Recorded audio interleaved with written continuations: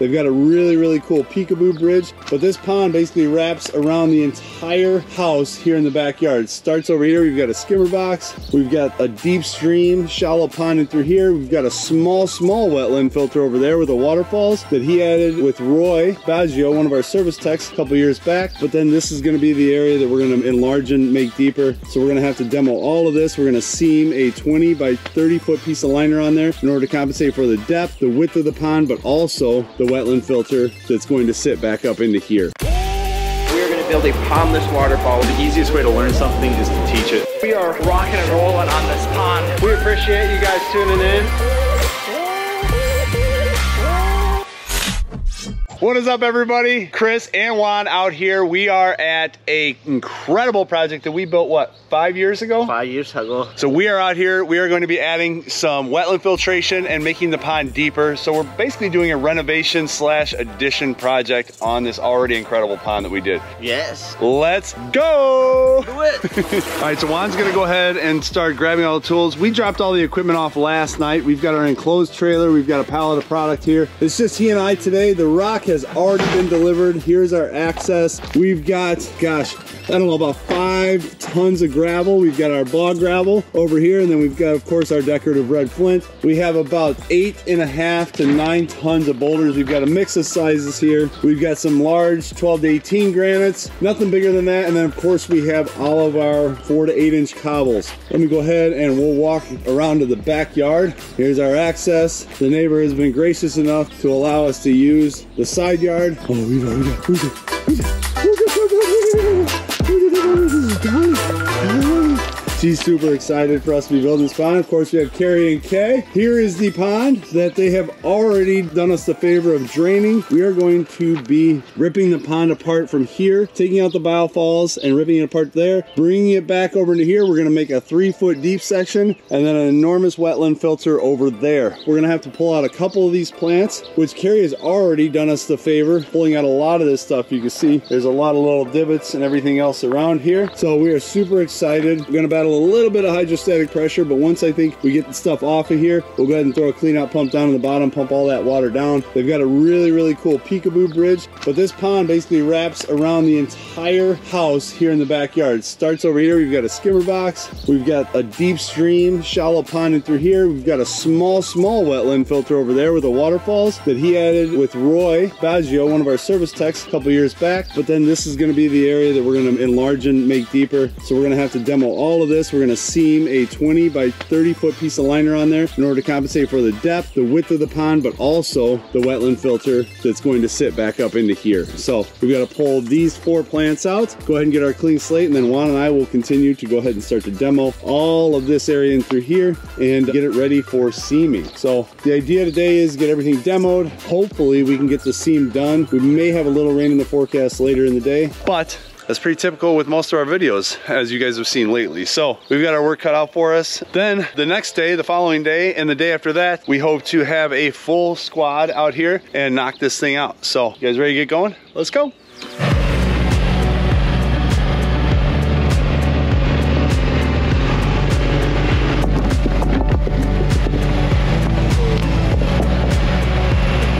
Film these kind of going into the bucket. Okay. You know what I'm saying?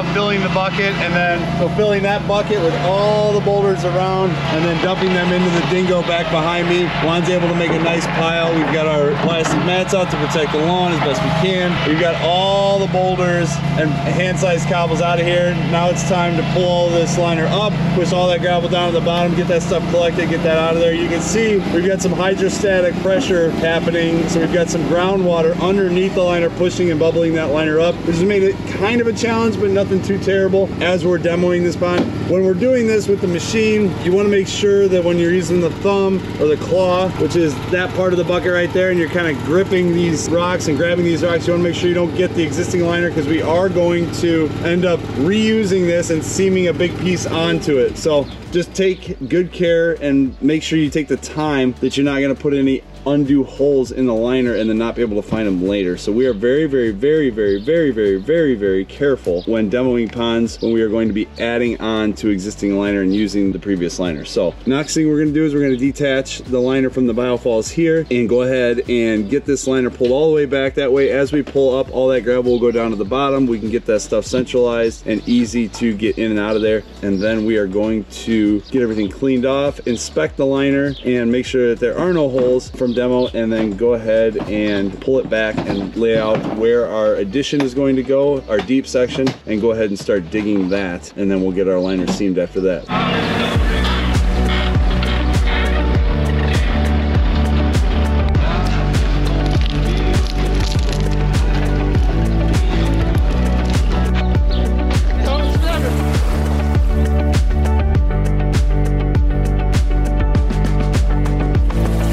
Pumping out the groundwater. This is what was causing that hydrostatic pressure. I had this entire shelf filled about 30 seconds ago. That's what was causing that liner to bubble and give that waterbed look. So we're gonna go ahead and pump as much of this stuff out as we can. We're gonna dig down a little bit further below the fabric to get all that stuff out of there, which will make our job so much easier when digging. We'll let this stuff dry out. So what do you got over there? Are you raiding their fruit garden, their strawberry garden, their strawberry patch? Let me yeah. see. What do they look like? Ooh, so good, so good. All right, back at it.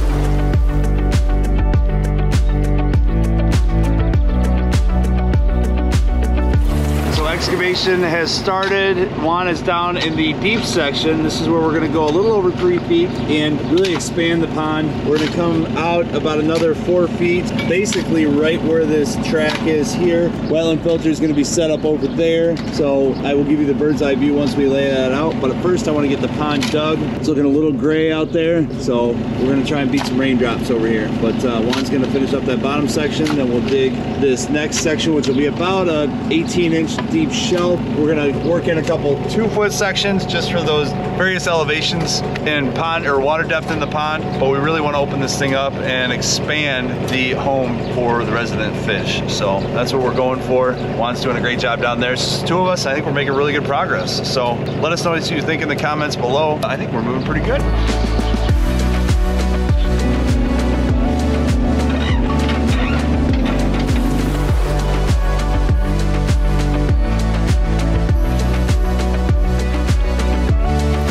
Got us, but we got pretty stinking far. Check that out. Our pond, gosh, addition, I guess you would call it, is dug. We've got a few crumbs left to clean up, but we've got we got rain and it's gonna be coming for about the next hour, hour and a half, and we are kind of close to the end of the day. So we're just gonna go ahead and wrap it for the weekend. But I love this area. So this right here is at two feet and we sloped it down to just over three feet. We're at about 38 inches there. An enormous two foot section above that. And then we've got about 16 inches of water up here. And then we're gonna do a little beach area. And then the wetland filter is gonna go over where the excavator sits and then we'll have our waterfall come in through there. The waterfall height will be a, little bit taller than the last time, but not much, but it's gonna be over just even further. It was right there. Now we're gonna move it over and then that way we really get that push water. We're gonna do some circulation jets. We're doing some really, really cool stuff. Fish cave on this project. Anyways, we are going to cut it there and yeah, we will return and the sun will be shining, I promise you, and it might be 20 degrees warmer from what the weatherman says, but who can trust a weatherman these days, honestly? Till then, we'll see ya.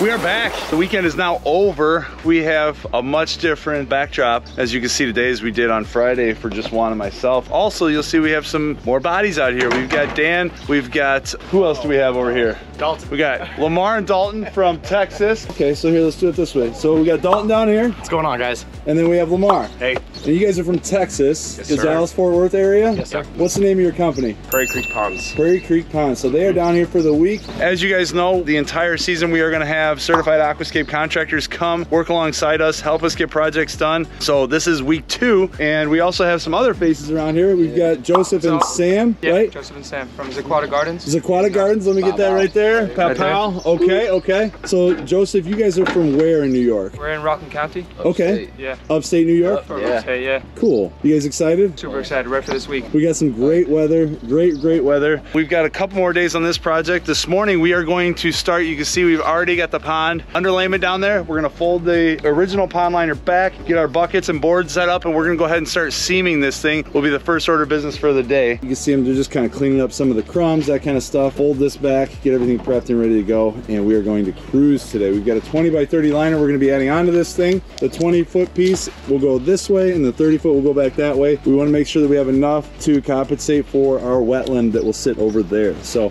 Juan, you ready to roll today, bud? Yep. Are you? Come here and tell me. Ready to go, bro. We're gonna make some serious headway in progress today. So we'll get this seam done and then start rocking.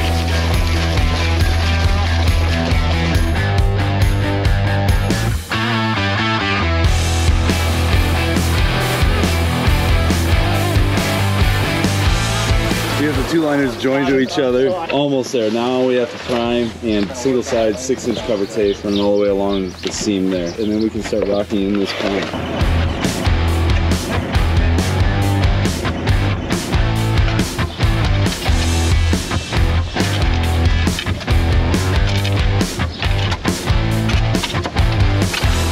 It is day three out here. We made exceptional progress yesterday. Today, we are going to finish up this wetland filter and put this project to bed. So you see Dan in there. We got a majority of it excavated out last night. That's what that rectangular hole is. That's for our AquaBlox. Now what they're working on is digging the trench for the snorkel centipede system that will go underneath the AquaBlox. So once we get that done, get everything cleaned up, you guys know the drill. It's fabric, liner fabric, then our components. Then we've got four to eight inch cobbles, then our different layers of gravel, and then we'll go ahead and dress it up and make it hmm. sexy for you guys. We may or may not end up incorporating an additional feature in the top of the wetland filter. We brought along a 32 inch green slate patio pond to add some additional interest. We're gonna see how it works. We may or may not end up using it, but we brought it just in case. So we're gonna get that dug, lined, components in, and get that wetland filter roughed in so that we can go ahead and finish this project today. It's gonna be a hot one, so we're gonna make sure to drink plenty of water. You guys do the same and stay cool alongside with us.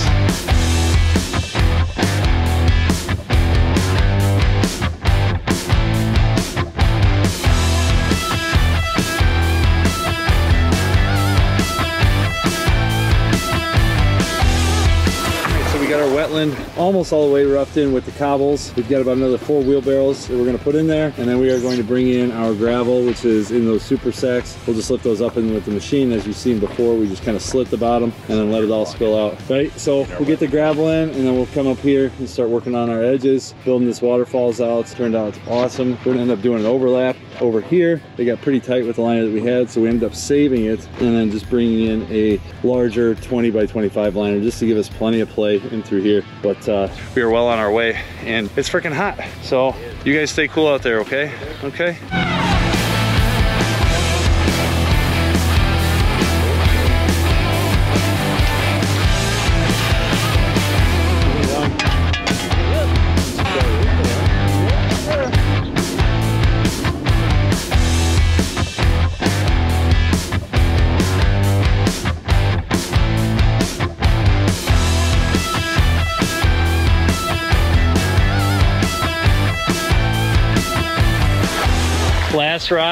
Over here. Water is running. Turned out absolutely incredible. The bowl looks awesome. I can't wait to come back in a few days. Once the plants get replanted, things start looking gorgeous. More gorgeous than they already are. But that water will clear up so you guys can get a really good idea um, as to how deep we ended up going with this pond and to see some of the rock work. There was a lot of small rock. You see us do a lot of machine sized stuff and we did have the machine out here and some of them we definitely needed the machine to place, but it's a lot of smaller rock and which is great because then everybody can do it and everybody can be rolling at once. So it makes it very, very efficient. So God, it's hot. It's about 186 degrees out here, but we pushed through lunch, managed to hit our deadline today and we're gonna hit the road and I will be back for the end of this episode and show you the incredible project that we just created.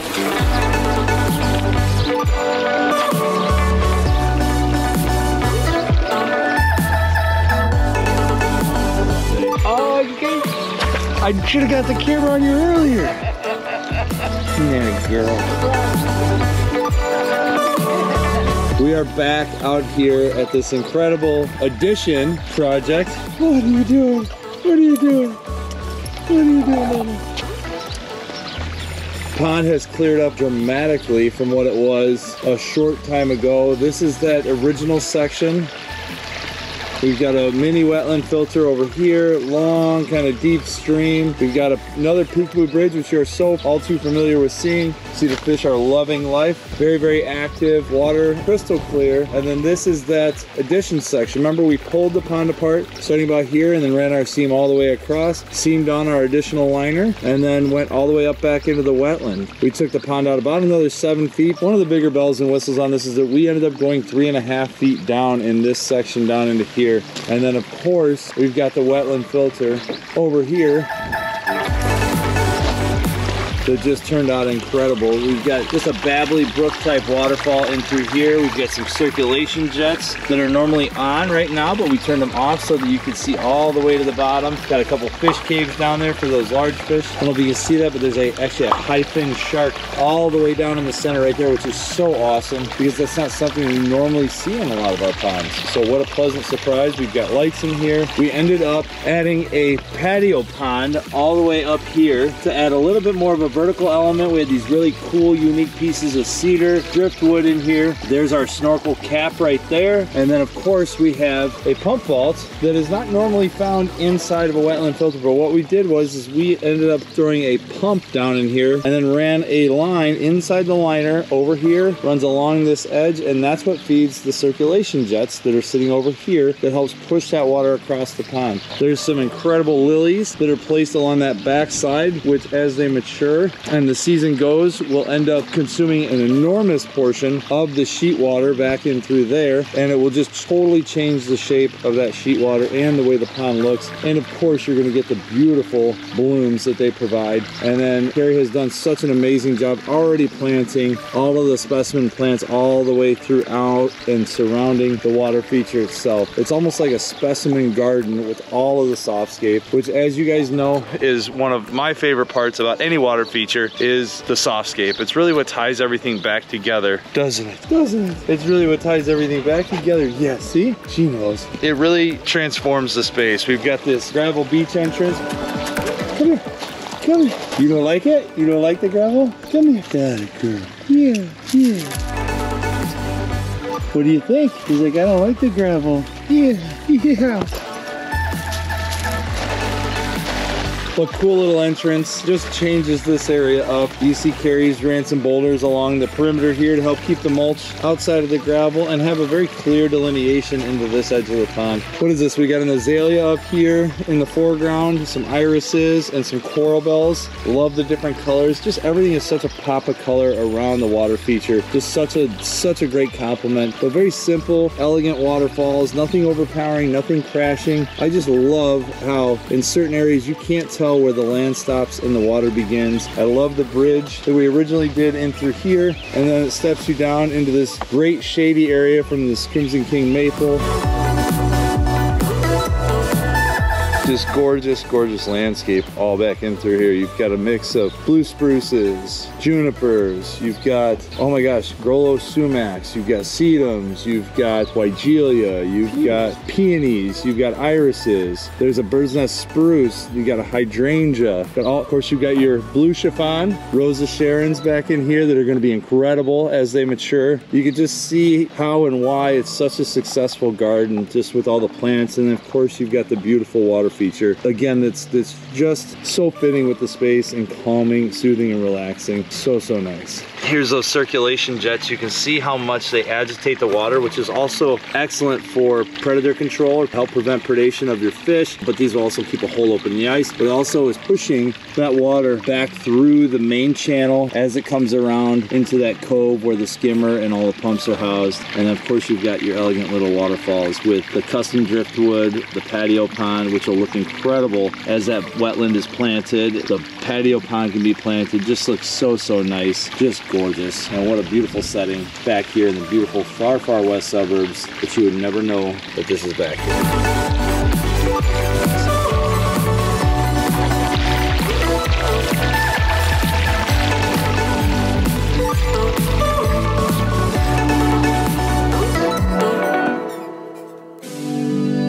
So many different areas to enjoy this pond. Such a fun time, great customers to work for. Always a blessing to be back here, adding and tweaking the water feature. And they're clearly living the aquascape lifestyle. So hope you guys enjoyed the video. If you have any questions on how this was put together, leave us a comment in the comment section below. Drop us a line. Don't forget to give us a thumbs up if you also enjoyed the video because we like to be able to see that stuff. If you haven't already, subscribe. Please, please, please subscribe. Hit the little notification bell so you can stay up to date on all of the fresh new content that we are coming out with every Tuesday, Thursday, and Sunday. So you can see more projects like this and more on our channel. Till next time, we're signing out and we'll see you later. Thanks again.